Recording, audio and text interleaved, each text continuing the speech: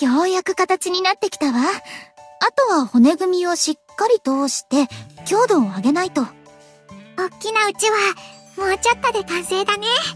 これを見たらみんな驚くだろうな。そういえば、他のみんなに黙って作る必要あったの？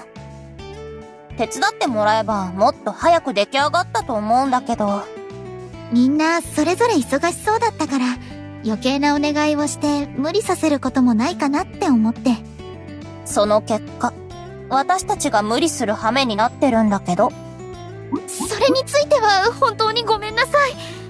うちわ作りこんなに苦戦するとは思わなかったの。リコちゃん気にしないで。ルビー、こういう工作ってあんまりしたことがなかったからすっごく楽しいんだ。迷える眷属に救いの手を差し伸べるくらい、どうってことないわ。打天使ヨハネは理解ある種なんだから。ありがとね。二人に応援してもらえたからかな。